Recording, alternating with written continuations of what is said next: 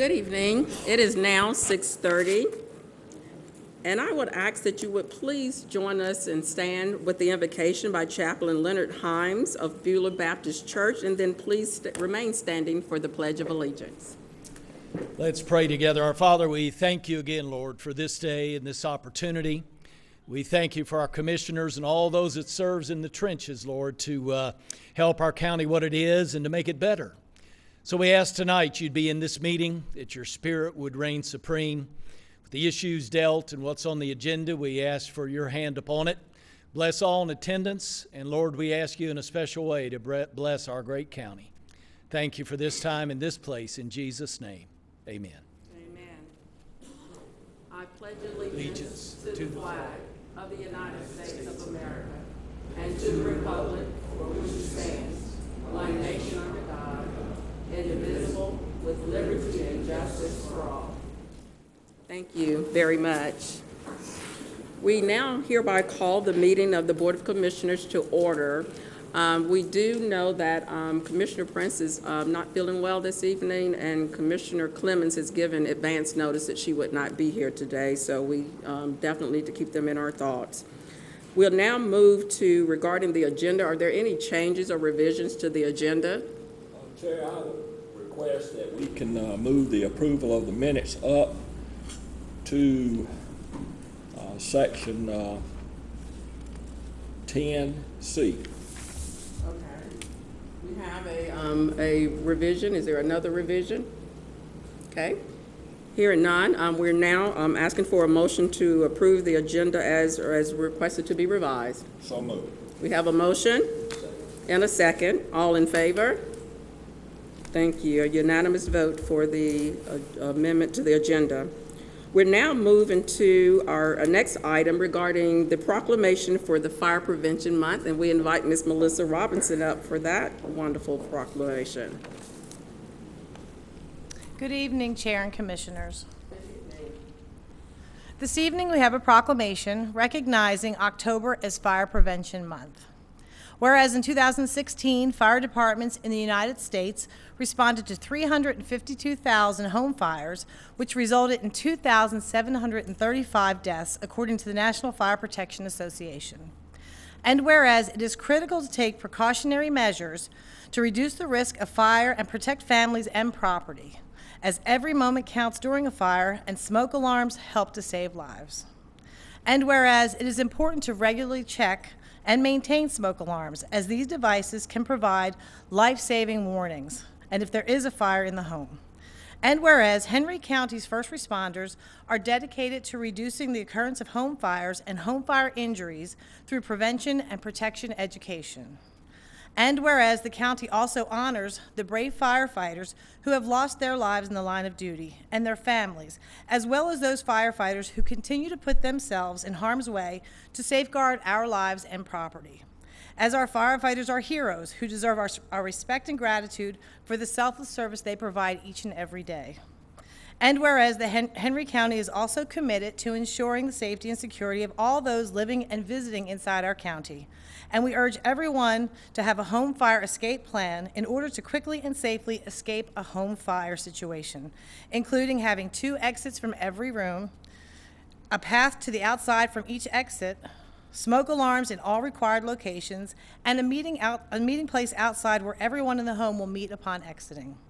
And whereas the 2018 fire prevention theme, Look, Listen, Learn, Be Aware, Fire Can Happen Anywhere, effectively serves to remind us that we need to take personal steps to increase our safety from fire hazards.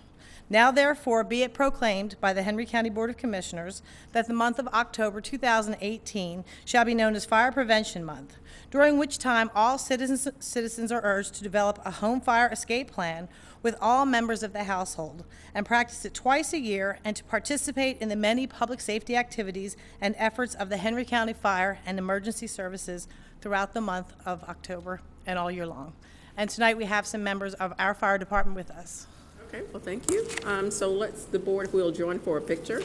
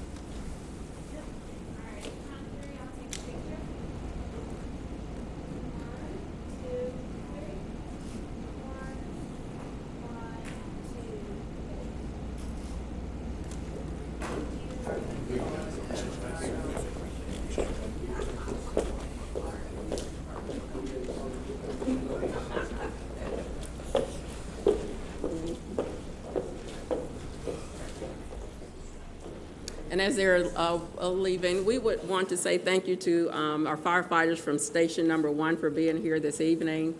And again, we just do uh, remind everyone to please think about your fire prevention tips that were given this evening, and don't forget to change the battery in your smoke detector. So we thank you for that. We'll now move into our next agenda item. Um, We have on the agenda Superior Court update by Honorable Brian, uh, Honorable Brian Amero from the Superior Court Judge, and I do not see him here at this moment. Okay, so we'll move on to our next item regarding the consent agenda. Um, The following agenda items are considered for our consent agenda. We have one from Senior Services, which is a resolution approving the donation of a 2005 Chevrolet Impala from Snapping Shoals EMC. And then we have two items from our county clerk's office. One is regarding the resolution approving the meeting dates of the Henry County Board of Commissioners for 2019, and then another resolution approving the 2019 holiday schedule. Um, Are there any items to be removed from the consent agenda? I do have one, um, and it is the one regarding the resolution approving the meeting dates, and I ask that it mo- be moved right after the um, consent agenda is approved.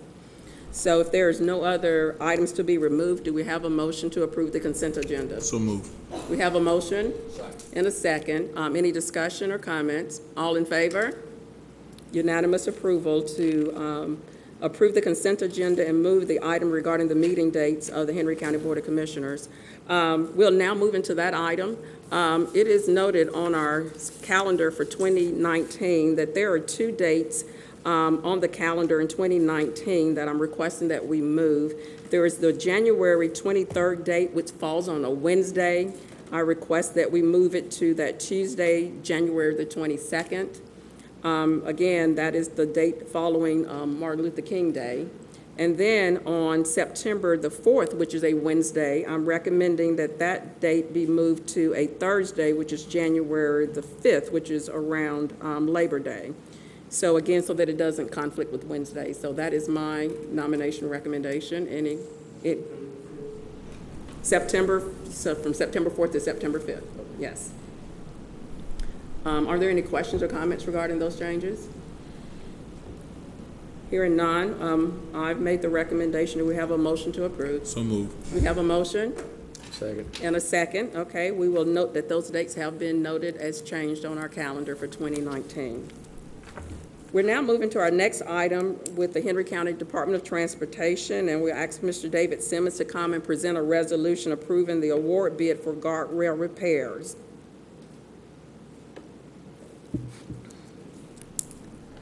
Good evening, Chair and Good evening. Commissioners.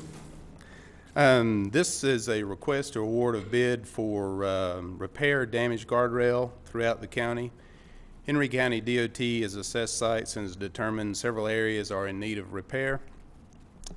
This uh, request was bid through Purchasing Department and posted on the websites of the county, Team Georgia Marketplace, and ACCG GLGA. Prospective vendors were notified about the postings the, via the Team Georgia Marketplace and by email with three vendors responding. Funds are available in the department's account for this. And uh, staff recommends award of bid 1907 to Stembridge Custom Metals for guardrail repair replacement. Okay, well, we've heard the presentation. Are there any questions or comments? Hearing none, the floor is now open for a motion. Move to approve. We have a motion Second. and a second. Any further questions or comments? All in favor? Okay, unanimous approval for the award for the guardrail repairs. Thank you. Okay, we'll now move into our planning and economic development items. And the first one, um, we'll invite up Mr. Stacy Jordan Rudisil um, to come and discuss the adoption of the 2018-2022 Capital Improvement Element Annual Update. Good evening, Chair Wood, Commissioners. Good, good evening. This item before you tonight is an annual report, and it is required by the Department of Community Affairs uh, regarding development impact fees. The renewal of the county's qualified local government status is contingent upon the adoption of an approved report by October 31st of 2018. On August 21st, the Board of Commissioners adopted a resolution allowing the transmittal of this report to DCA for their review. And on Sep- September the 20th, the Atlanta Regional Commission informed us that the Department of Community Affairs had approved our report. And so staff recommends adoption of this report. Okay, we've heard the presentation. Are there any questions or comments regarding this report? Okay, hearing none, the floor is now open for a motion. Move to approve. We have a motion and a second. Any further questions or comments? All in favor? Any opposed? It is approved as presented. Thank you. Thank you. So this is apparently a public hearing, and I just made a note that we're supposed to have a public hearing on this, so I need to hold our vote on that and go through the public hearing process, so please pardon me in that error. Um, So, excuse me, um, Mr. Gibbs, I'm sorry, because again, this is a public hearing on that item. Um, The persons that are wishing to speak on that capital improvement update um, will be given three minutes each to come forward to make their comments, and, and it will be recorded in record. So are there anyone wishing to uh, make any comments, and we'll take a revote on that capital improvement plan? Calling again, is there anyone wishing to speak for three minutes regarding the capital improvement program? Hearing none, we'll go back and take the vote. At this time, um, we'll open the floor for a motion on that. Motion to approve. We have a motion Second. and a second. Any further questions or comments? All in favor? Thank you. It is officially approved through, as a public hearing item, so thank you. Thank you, Board. We're now moving to the next Planning and um, Economic Development item, and we thank Mr. Gibbs um, for the presentation of the resolution adopting the completed Imagine Henry, Henry County and Cities Joint Comprehensive Plan for 2040. Good evening, Chair and Commissioners. Good evening. Before you is a resolution to officially adopt our new comprehensive land use plan, uh, deemed the Joint Cities Counties Com- Comprehensive Land Use Plan 2040. Uh, this process has taken approximately two years, and we did this in partnership with our cities. And it, in August, uh, as Stacy stated uh, in the previous uh, public hearing, that the Board of Commissioners um, moved to transmit this to the Department of Community Affairs for their review and their approval. On Oc- October 5th, the Department of Community Affairs um, sent and we received a letter from them uh, stating that they have approved and that our comprehensive land use plan 2040 has met all of the requirements uh, for comprehensive land use um, and the process that was involved. So without further ado, um, again, thank you to everyone involved, um, from our commissioners to our cities to our staff, uh, to everyone who had a hand in this. Uh, this will be our policy for the next decade uh, in, in driving and steering the recommendations uh, made for our land uses. And uh, having said that, this is a public hearing, so I will yield the floor uh, for that portion of this of this case. Are there any questions or comments from the board before we open up for a public hearing? Okay, hearing none. Um, Again, this is a public hearing, so anyone wishing to speak um, regarding this um, resolution to adopt the 2040 plan um, will have each three minutes. So at this time, we'll call for anyone who's wishing to speak regarding the comprehensive land use plan resolution that's before us right now. Seeing none, hearing none, I'll call again. Is there anyone wishing to speak um, during this public hearing? Okay, that concludes our public hearing. Again, at this time, are there any questions or comments from the board? Hearing none, the floor is now open for a motion. Motion to approve. We have a motion Second. and a second. Any further questions or comments? All in favor? Any opposed? Okay, the resolution is passed, and Mr. Gibbs, as you're about to take your seat, we do want to say thank you to all the citizens who did participate in this process. Whether you came out to the open house sessions, whether you responded via um, online surveys. We definitely want to thank you, Dante, and your staff for the many hours that y'all put into this, and we do appreciate the cities and the commissioners that were involved in that as well, because this will be, again, a document that sets our, our plan, that sets our future for us, so we appreciate that. Thank you. Our pleasure. Thank you. Okay. All right, so now, at this time, we'll move into the next item, which is an um, item from our county attorney.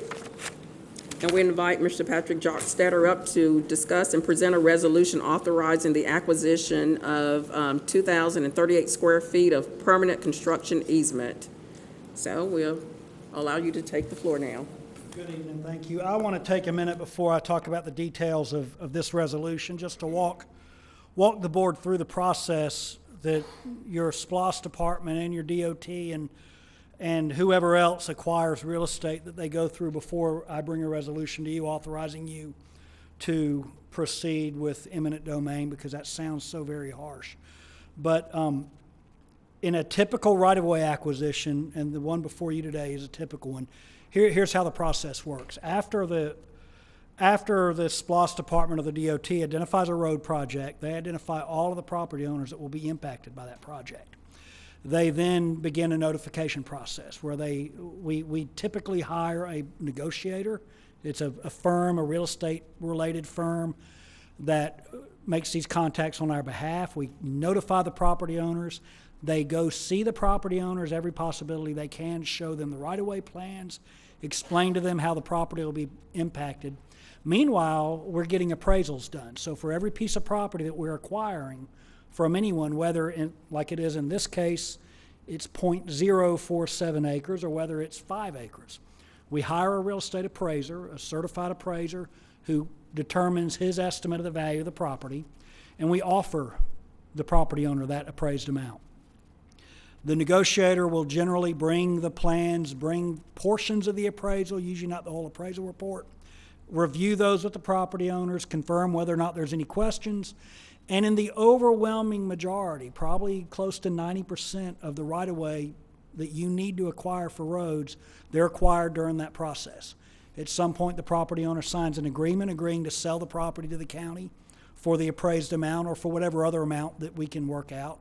And we have a closing, just like any other real estate closing. They generally come to my office or someone else's office, they sign three or four forms, they get a check, and they go away. On the rare occasion that either we are unable to agree on the value to pay, or as is in the instance in this issue, in this case, where there's some title issues and there's not enough money on this property to resolve those title issues, we have to come to you to authorize what, what I refer to as condemnation and what people hear as eminent domain.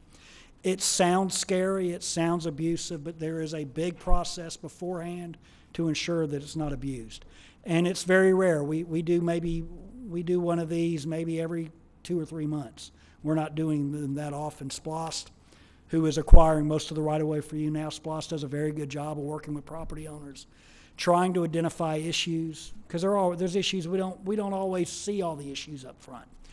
And even when we file a condemnation petition, the overwhelming majority of those, again, probably 90% of those, we're able to resolve during that process. We're, we, we're either able to determine that we do, in fact, owe some additional money for whatever reason, or we're able to convince the property owner that the amount that we paid initially was correct.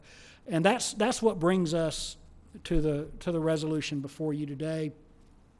There is a parcel on Peeksville Road which consists of 0.047 acres, which is about 2,000 square feet, that we need the board to authorize us to acquire by means of eminent domain. The reason on this one is not a value reason.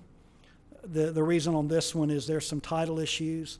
Just like you've got a mortgage on your house or a lien on your house, if the money we're paying is not sufficient to cancel that lien or cancel that mortgage, then the only way I can resolve the case is to con- condemn the property. I pay the money to the court, and the court disperses the money to whoever's entitled to it. That way, we get title and we're not held up because of a mortgage or a lien or something like that. And that's what's happening today. So, this is parcel four on Peeksville Road, and we're requesting that you authorize me to initiate the eminent domain or condemnation proceedings.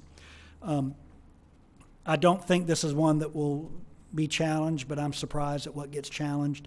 It's a very small right-of-way acquisition, very minimal impact on the property owner. And in fact, the money on this instance will go to pay off, I believe, some unpaid federal taxes.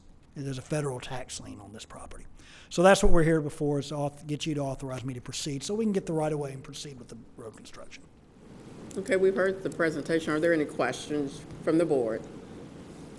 Okay, hearing none, the floor is now open for a motion. Motion to approve. We have a motion and a second. Any other questions or comments? All in favor? Any opposed? Thank you, that was a unanimous approval. All right, well, then we move into the next item, which is also a resolution from our county attorney objecting to the annexation into and, and/or the rezoning by the city of Locust Grove of 98.33 acres of land in Henry County. Thank you, Chair. As you are all aware, uh, we received a notice from the city of Locust Grove of their intention to annex roughly 98 acres into the city limits of the city of Locust Grove. And along with that annexation, there will be a rezoning of the property, proposed, a proposed rezoning from the RA zoning classification to an industrial zoning classification. I have prepared a resolution by which the board would object to the annexation and rezoning of the property.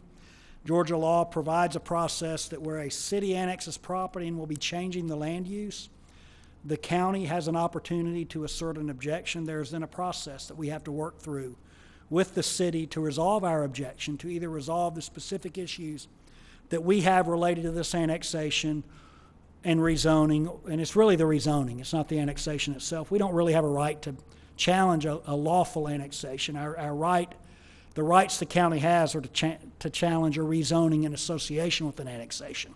But it's really the, the two of them combined. So the resolution today would assert an objection to that rezoning and would initiate the process with the city of Locust Grove if they choo- choose to participate with us. And that's the resolution today. I can put a, a, a sketch of the property for you, and I highlighted it in this dark area. It's this, this area of property right now, right here, is bordered by, uh, I think that's Calvin Drive, and, and I'm sorry, I don't recall the name of the street. So it's, it's this acreage in the middle. The property on the other side of, the, of Highway 42 is already in the city limits, and I believe this parcel here is, which gets them the contiguity over. And the property is currently zoned and used as RA property. So that's what's before you today. This doesn't mean that, that, um, it doesn't mean we can't resolve this. It's certainly a resolvable situation. And if the county, if the city elects to proceed with the rezoning anyway, we'll have another, we'll have to have another conversation. So, but right now, what we're doing is, is the board will consider whether or not it wishes to assert an objection, which is step one in this process. Okay, well, we've heard the presentation. Are there any questions or comments? Commissioner Wilson? There's eight property owners involved, and is that correct? And they have the right to uh, make application to be annexed into the city. Absolutely. So this is not against the property owners wanting to go into the city. You mentioned earlier, it's not about annexation. Absolutely. But it's about what happens after annexation takes place. That's right. Right now, we have it zoned for uh, medium-density housing, I think it is, is, It, it's zoned RA, our future land RA use map is- calls it for low and medium residential. okay. Current future land use, uh, effective tonight is, has those, ha- has those properties as medium-density residential. And, and the law basically matches our, if, if, if our future land use map contemplates the project, then we, we don't have a right to object. Okay. In this instance, both the, the brand-new one that's now fifteen minutes old and the old one both contemplated residential use. Yeah, I just want to, to make it clear that it's not against the landowners. And it's not about the annexation, it's about the zoning of the property after it's annexed. And in this instance, if, if there were no request to also rezone the property, you might hear from us getting up and say, there's a request for an annexation, it's lawful, and we just want to let you know. And we've done that a number of times. Um, And, and we, a property owner who is qualified to annex, they're contiguous, and they meet all the other technical definitions, there's absolutely nothing this county can do to prevent them from exercising their right to request annexation. Doesn't mean the city has to approve it, but there's nothing we can do to prevent that. It's only when that annexation request is coupled with a rezoning request. That's the only time this board has an opportunity to speak. And the way the law gives you that opportunity to speak is through this objection process. Okay, well, we've heard, are there any other questions from the board? Hearing none, the floor is now open for a motion. Motion to approve. Okay, we have a motion Second. and a second. Are there any further questions or comments? All in favor? Any opposed? All right, the resolution is approved as presented. We're now moving to, as uh, noted in the amendment of our agenda, we're going to now um, present the approval for our minutes for the October 2nd, 2018 regular Board of Commissioners meeting. Were there any changes or revisions to those minutes? Hearing none, the floor is now open for a motion. Move to approve. We have a motion to approve Second. and a second. Are there any further questions or comments? All in favor? All right, the approval of the minutes are, are approved as presented. We'll now move into our public comment section, and at this time, we'll look to our county clerk to see are there any public comments at this time? No, ma'am, no one has signed up tonight. Okay, we have no public comments, so therefore, we're moving to our item um, 13. Um, Are there any comments from the commissioners? Okay. Are there any, so no comments from the commissioners. We're now moving to the county manager comments. Yes, I have a few. Uh, The first thing is, um, you committed to Dante and his team for the comp plan. I also want to relay from my county manager's point, the, the hard work they put into it, the citizens and, and you guys and the board to make that happen, and we appreciate their hard work from our planning and zoning team. Um, Our Citizens Academy update, we're about halfway through that, that eight-week process, and um, it's going very well. It's been received well by our citizens, and um, we'll continue the next four weeks before graduation, where they'll come actually meet you guys at the, be presented at one of the meetings uh, at the end of their class. Um, National Night Out, scheduled for October 25th at, at Henry Town Center uh, next week, so just want to put that on your calendar. um, For the ones who want to stop by the National Night Out. And one more thing is recognize Dante for the Real Men Wear Pink. Uh, It's our last meeting of October, so uh, thank him for that, and thank everybody for supporting that, that good cause for the Real Men Wear Pink campaign. And that's it, Madam Chair. All right, thank you very much. We'll now move into our next items regarding our upcoming meetings and events. Our, our next, um, well, the October 23rd workshop meeting has been canceled. So therefore, um, we're having an October 30th um, called meeting regarding the classification and compensation of Henry County employees on October 30th at 10 o'clock a.m. And then we'll have our November 6th um, regular Board of Commissioners meeting at 9 o'clock um, a.m. Um, Please do note that um, for um, November 20th, that our meeting um, has been changed to November the 19th due to the holiday. So um, please do keep in mind that we've got SPLOST 5 committee meetings remaining through 2018.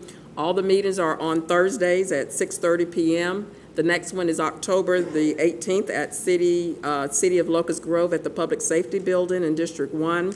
We'll have another one on November the 1st at City, uh, City of Hampton at the Fortson Library in District 2. November 15th, there will be one at City of McDonough at the City Hall in District 3. And then November 29th, again at Stockbridge, the seat of Stockbridge at Merle Manders um, Conference Center, and that'll be for Districts 4 and 5. And then on December 13th, we'll have another SPLOST 5 committee meeting here at the Henry County Administration Building here in Conference Room B. So again, if you'll pay attention to those dates on our website, those dates are available.